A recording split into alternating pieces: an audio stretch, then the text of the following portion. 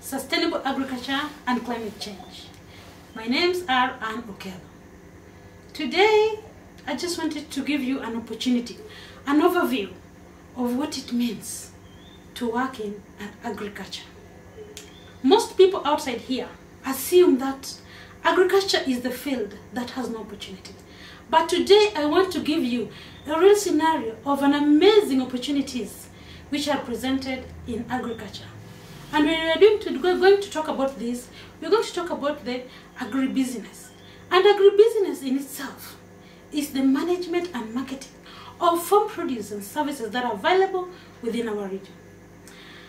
Actually, according to me, I really feel that agriculture is the only solution that we can use to combat and mitigate climate change. The methods that are there in agriculture can be clearly and closely embedded to fight climate change. One of the opportunity in agriculture is tree nursery farming. If you are somebody who is looking for an opportunity, start a nursery. If you have known how to establish and how to make your compost, use it to start a nursery. It's going to bring you daily income and that is going to change your life. Every money that will be coming in, it is from the soil. That is one opportunity. There's an opportunity in poultry farming. Poultry farming has several segments and very, very many. If you want to do poultry, you can choose within the poultry chain which area do you want to discuss and which one, which area do you want to go to. We have eggs, which people do in layers. We have people who can focus in meat. We can people who can focus in in poultry value chain like transport and the value addition part of it. People who can be doing cakes. Those are opportunities all presented in agriculture under the poultry value chain. We have the dairy, the dairy cow farming. The dairy cow farming, if you have that at home, be sure you have milk. It's going to give you biogas, which is also help you in combating climate change. It's going to give you cow dung, which you're going to use to make your organic manure. What an amazing opportunity.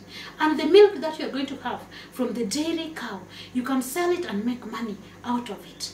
And you can even do value addition in the day in the milk processing plant. You can be producing milk, you sell it to cooperatives, and the cooperatives will be using to make milk, yogurt, ghee. All those are opportunity in agriculture. Apart from that, we have bull fattening. You can do another business of cow bull fattening. Just keep bull, fatten them and sell. You can fetch to a tune of a thousand dollars one bull, one hundred thousand Kenya shilling one bull, and make sure you do it sustainable.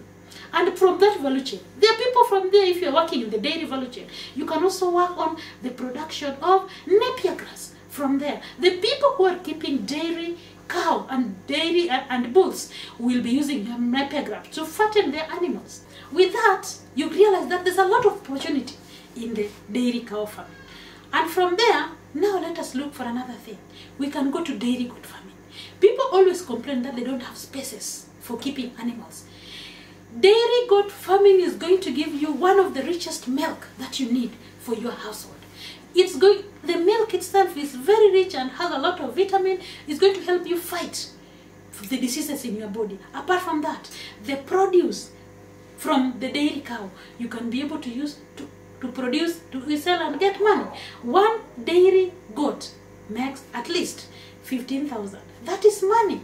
And you just can do it from your home. That is one opportunity.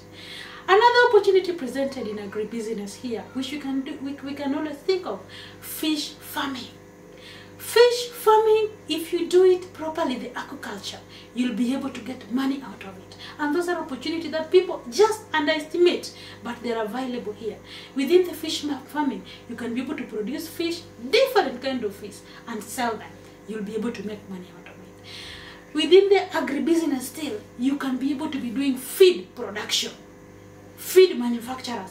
All these people who are keeping poultry, dairy, uh, rabbit, pigs will be needing feeds from you. And if you focus on feed production, now that is an opportunity presented to somebody in agribusiness. And then you'll be able to make money out of it. The next key thing that we can now be able to look at for, there's what is called beekeeping. Beekeeping is a very key thing that we can be able to use for income generation and also to combat climate change. In this way, assume that you are living next to a forest and you cannot be able to be able to use that forest sustainably. And the way to protect that forest so that forest can be able to give us food and regenerate, recharge groundwater is only through beekeeping. Have your bees along the edges of those forests. Harvest bees, harvest trees at the same time. It will going to protect because people who are always destroying the forest will be scared to go because they know bees are there and that's going to act as a, a harbor to protect our forest. It's the best way for conservationists to use to protect our forest. The next thing we can think about, what about piggery? Pig farming. One pig can give you, I don't know, 10 piglets. Anytime it gives birth, it's going to give you all those piglets. Those are source of income. And from that pig, you're going to get pork. And from that pig, you're going to get organic manure. From that pig, all those are money. Why don't we tap on agribusiness?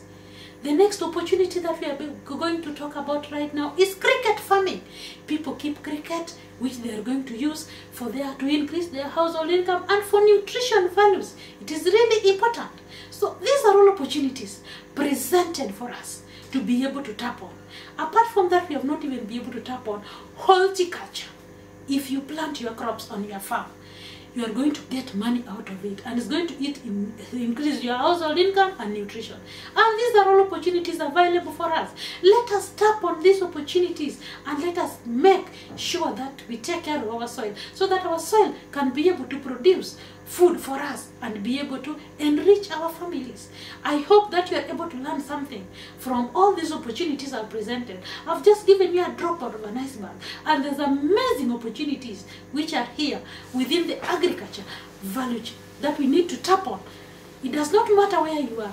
But one good thing that all these things I'm talking about, you can benefit from them. They are going to increase our household income and they're going to protect our environment.